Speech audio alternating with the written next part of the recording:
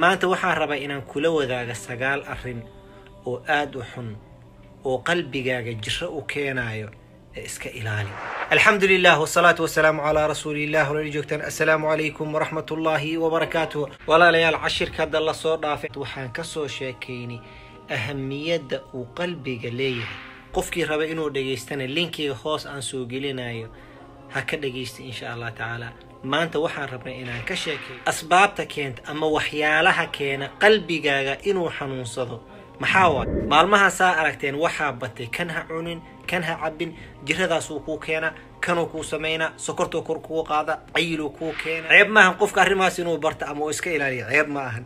Laakiin waxaa ka sii muhiimsan qalbigaaga waxyaalaha jirada uu keenaya inaa ogaatid oo iska ilaalisid. Sidaa darteed maanta waxaan rabaa inaan kula wadaaga sagaal arrin oo aad u xun oo qalbigaaga jiro u keenayo ee iska ilaali.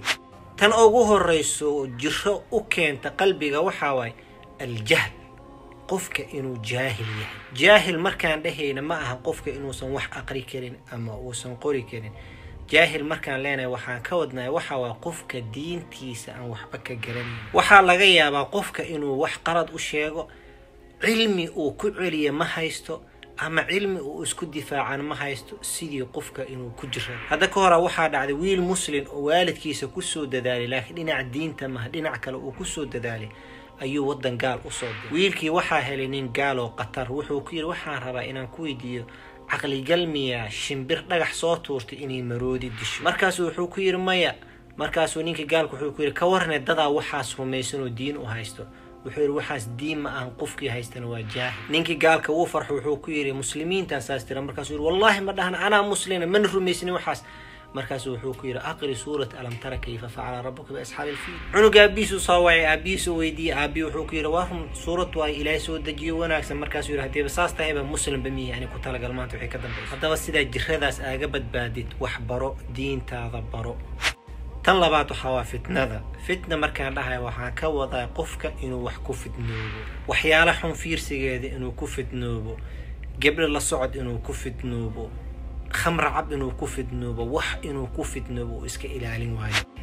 Tan saddexaad waxaa waa ashahawaad shahawaad maxaa laga wadaa? Shahawaadka waa laba mid ka mid ah tarkil waajibaad qofka wuxuu ilaahay ku waajibiyey inuu ka tago. Sida salaadaha waajibaadka oo kale salaada subaxuu rabaa inuu soo kaco nafta waxay leedahay kicine seexo. Shahawaadka waxay kaloo noqon kartaa ficli lmaqaasi qofka inuu macsiyo sameeyo. Khamrada inuu cabo ribe inuu la tacaamulo rashwa inuu qaato zina inuu sameeyo wax kastoo xun inuu sameeyo.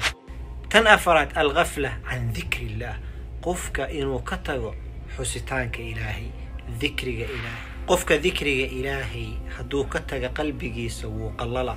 Hadduu dikriga ilaahay wadane qalbigiisa wuu degaa. Ilaahi subxaana wa tacaala wuxuu yidhi alaa bidikri illaahi tatma'inu alquluub war hooy dikriga ilaahay ayuu qalbiga ku xasilaa tan shanaadoo keento jirada qalbiga keento waxaa waaye rifqatu suu qofka inuu samaysto asxaab xun. Almaru calaa diini khaliilihi falyandur axadukum man yukhaalil qofka wuxuu haystaa diinta saaxibkiis ee qofkiin ha fiiriyo qofkuu la saaxiibayo tan lixaad waxaa waaye akli lxaraam qofka inuu cuno waxyaalaha xaraamta ah businessuu leeyahay dadkuu qasha. Xooluu leeyahay dadkiiu khayaana. Ribuu qaadanaa. Rashwuu qaadanaa. Tan toddobaad waa alghiiba. Xanta waxay keentaa jiro qalbiga iska ilaali haddaba xan maxay tahay dadka qaarkood waxaa laga yaabaa xantaba inay wax kale u yaqaanaan. Nebiga sala allahu calayhi wasalam ayaa inaaga jawaabaya su'aashaasi. Si fiican u dheg nebiga sala allahu calayhi wasalam wuxuu yidhi dikruka akhaaka bimaa yakrah walaalka inaa ku sheegtid wuxuu dhibsanaya. Saxaabadii waxay dhaheen yaa rasuulallah waxaan ku sheegaya hadduuba leeyahay ka waran ceebtan ku sheegaya hadduu leeyahay maxaa xan ka dhigay? Markaasuu wuxuu yidhi haddaa ku sheegtid wuxuu dhibsanaya waa xan. Wuxuusan lahayn haddaa ku sheegtidna waa buhtaan waa been abuur. Tan sideedaad waa annamiima. Namiimo maxay tahay?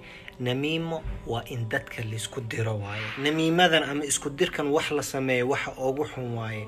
Qof inaa hadalka qaadid qof kala geysad xataa hadduu run yahay haddii dhib keenayso waa xaraam. Nabigana sala allahu caleyh wasalam wuxuu yidhi annamaam qofka dadka isku diro laa yadkhulu ljanna janno ma galo.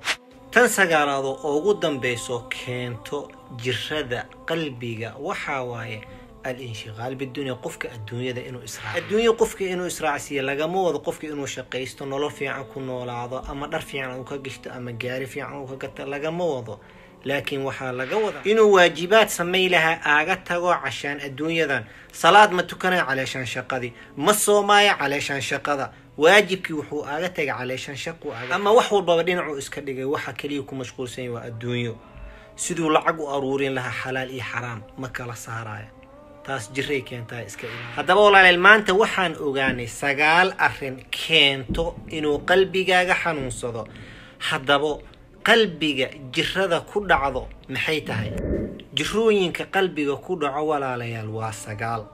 Haddaa rabtid inaa ogaatid waa inuu xalaqada soo socoto insha allah tacala ugu dambayntii walaalayaal nafteyda iyo tiina waxaan u dardaarmaa inaan iska ilaalino sagaalkan arrin oo qalbiga xanuun u keena. Waxaan kaloo kaa codsanaya inaad si fiican u dhegaysatid ku camalfashid walaalaha kalene وسي قد بسيد بخيل هنقونين ولا لها خير كلا جعلا جزاكم الله خيرا. بارك الله فيكم. وإنو حلقة سوى صعوت إيو. جروين كقلبك كدعا محيهن السلام عليكم ورحمة الله وبركاته.